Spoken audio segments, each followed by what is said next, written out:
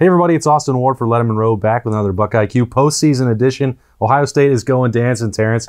Uh, Terence Dials right here, Ohio State big man, just like we projected all along. The Buckeyes are in the dance. Absolutely. I mean, we're prophets right now, considering what, you know, we've been predicting this the whole time. I tell people all the time, you follow Joe Lunardi, he's been having a man. you're pretty much good. I think the committee sometimes just goes in and looks at his bracket and they kind of Im- Yeah, that guy knows what he's doing. Yeah. Well, it was they did sweat it out. I was in Yeah. Mm-hmm. Chicago last week. Uh, Ohio State got exactly what they needed. That win over Indiana.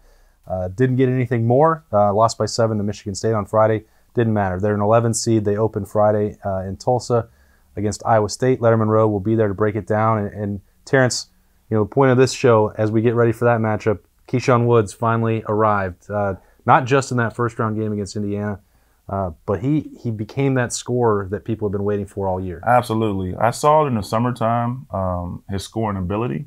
Uh, I've been kind of waiting uh, for this to kind of happen. Uh, he's been the guy that they needed in the backcourt, um, that extra scoring punch um, to kind of match Caleb. Hopefully, he can continue because I think uh, his experience, obviously playing, you know, as a graduate transfer, can help us big time. He seems like a guy who doesn't want that career to be over.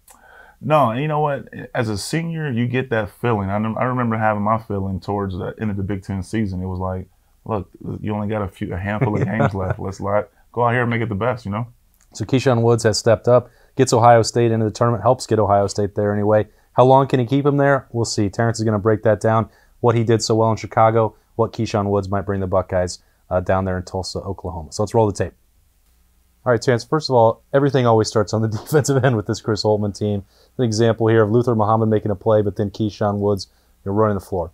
Well, that's what's kept us in games the whole year. Um, their defensive defensive ability, um, one through five, uh, always have kept us in games, and now we're starting to turn those turnovers into uh, points. It looks like Keyshawn. It, it, you kind of can overlook it. He flashes here a little bit on the double team and reaches in.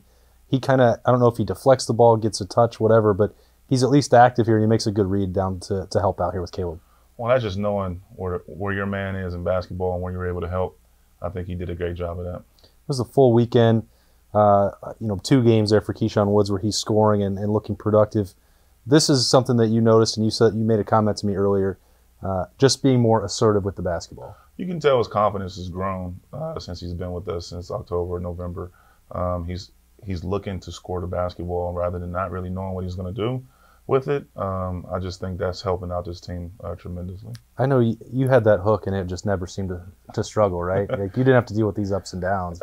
Yeah, you know, um, you know, when some of my teammates was able to get me the ball in the right spots, but you know, it's all about repetition. He, I'm sure he's getting in the gym, you know, um, getting extra shots up, and it's showing. It took a long time. Like you know, if you're talking about teammates you've had or Keyshawn in this situation, when the ball's not going in, like what is the way to fight through that? Because this it, this has not been the same guy right here. Yeah, like I said, and the coaches tell me all the time, it starts on the defensive end. Get easy baskets. You know, um, that's one thing I tell my players is defense doesn't take skill. You know, it's all about you know the want, and uh, you go out there and play hard. You know, good things happen.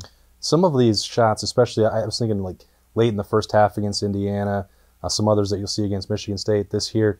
These weren't easy shots that he was getting, and I think that's what was more impressive about the way they. were. No, a lot of these shots were tough. I mean, they were off the dribble. Uh, that's something that we didn't have, you know, in the last few months.